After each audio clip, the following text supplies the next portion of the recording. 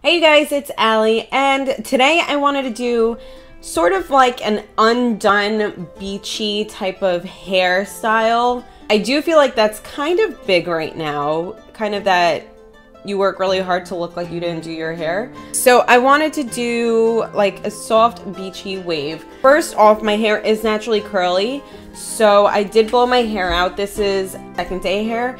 So I already prepped my hair with a thermal protectant, which you should do whether it's like a thermal protectant serum or a spray. I like to use the KMS 2-in-1 spray. Obviously, if your hair is curly, you can either go ahead and do this technique over your natural curls if you want something a little bit more textured and exaggerated. But being that I did blow my hair out, I'm going to do it over second day hair where it's obviously not perfectly done so I'm gonna just add a little bit of texture. I have an old video, I can leave the link to that below if you guys wanna take a look on how to blow dry curly hair straight. Like I said, I already prepped my hair with a thermal protectant, so what I'm going to do is just get started.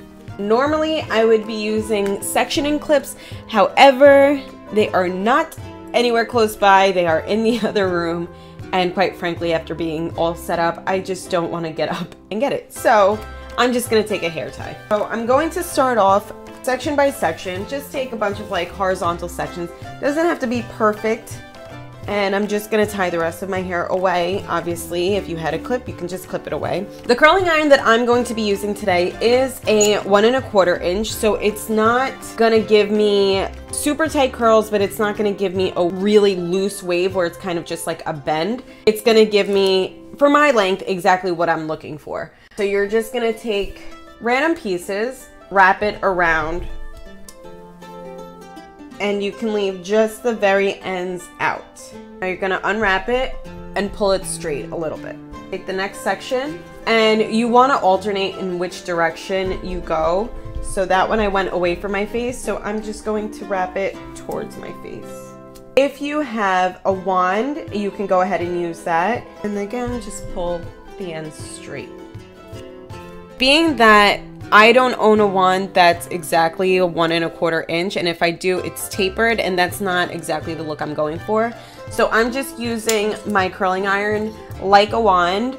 I do also have a video of how to take a regular curling spring iron and turn it into a curling wand. I would also leave the link to that below. I just didn't turn it into a wand because sometimes I do like to use this as a regular spring iron. So again, we're taking the next section and doing the same thing leaving just the very ends out, heating it up until you think it holds the shape.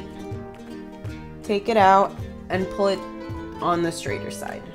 You can take fairly big sections if you'd like. It doesn't have to be completely perfect. Now, some of my ends, because it is second day hair, isn't completely smooth. If you do blow your hair out the same day, it should be smooth. So in that case, you can just bring the ends closer to the iron instead of leaving them out, or you can close the clamp on the ends if you'd like. Um, so I just brought a little closer and pulling it just a little straight.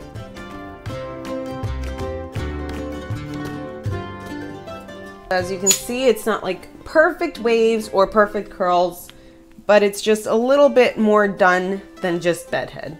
So now you're gonna take the next remaining sections and do the same thing. Taking random pieces and curling them.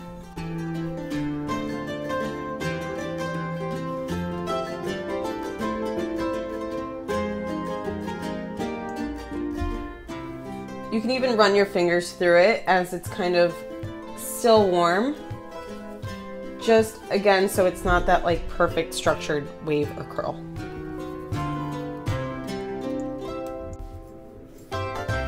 By leaving the ends out and leaving it straight and kind of pulling it straight, it also will kind of give the illusion of outgrown hair, like your hair is on the longer side. And you just want to take random pieces that just feel a little bit straighter and grab them and just curl them. I actually had my hair waved like this and you would think that because it was slightly of a tighter curl, it would appear shorter, But again, like I said, since I left the ends out and on the straighter side and kind of relaxed it a little bit, it didn't seem as short. Whereas when I take my hair and do more of like a structured wave, I even did like a bigger wave at one point and my hair did appear a little bit shorter. So last section, and just take any of the pieces that seem a little bit straighter and curl. If you want on the top section or the top layer, you can leave it a little bit more structured if you want so you have more of that done undone look. So that's actually exactly what I'm going to do.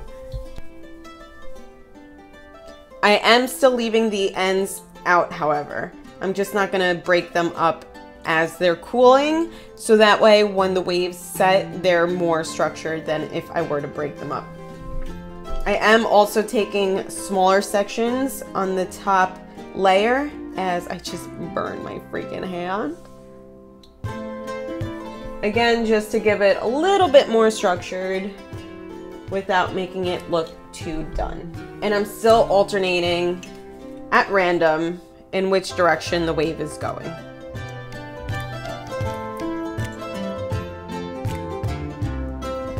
And now if you have shorter pieces in the front, you might not want to hold it there as long just to give it a softer look.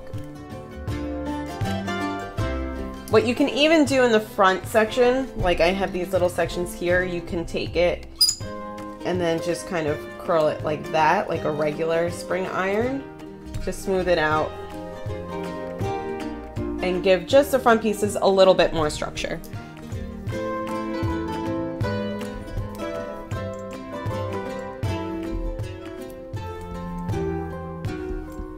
And again, taking that front section, smoothing it and curling it like you would if you were to regularly curl your hair.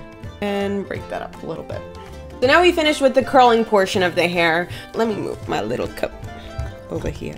I like to do now is I'd like to take either some sort of leave-in conditioner in cream form or some sort of oil or serum and just run it through my ends just because my ends are dry and split and over processed. And again, this is an undone messy look, but you still want to put look put together. What I'm going to do is take my AG Fast Food. This is a leave-in conditioner.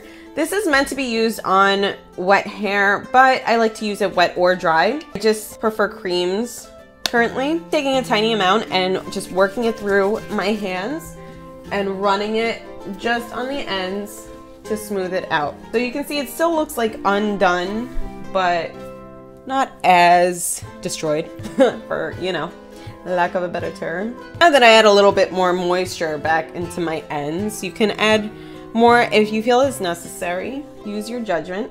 If you want a little bit more texture at the root, you can go ahead and use some sort of dry shampoo at the root if you'd like.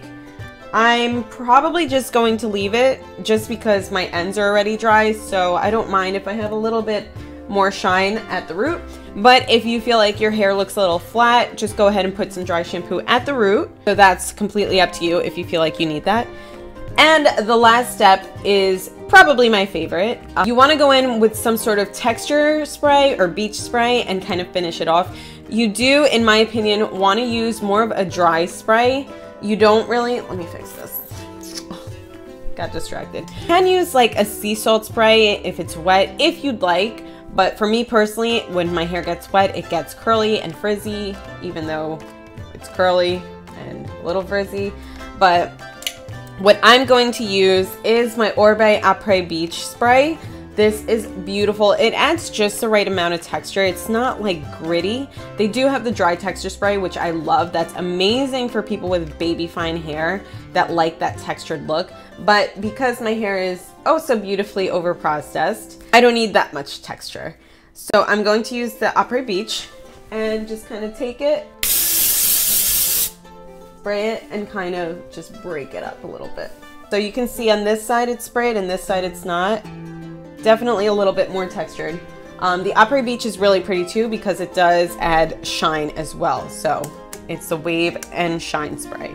And I'm just gonna add it to the other side.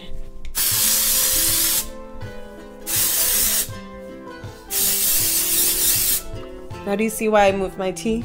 The other texture spray that I love to use as like a finishing kind of beachy spray is the Redken Windblown. I love that and it smells phenomenal as does this. I love it. It has that like signature Oribe scent. And I do also like the L'Oreal Next Day Hair as well, just to give you guys a little bit of options. You can go ahead and play around and kind of touch up any pieces that you want a little bit more structured or break up pieces that you want less structured.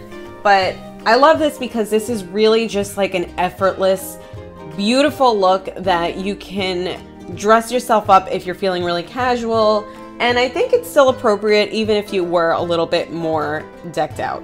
You can go ahead and like break it up at the scalp to make it a little bigger if you want. Okay.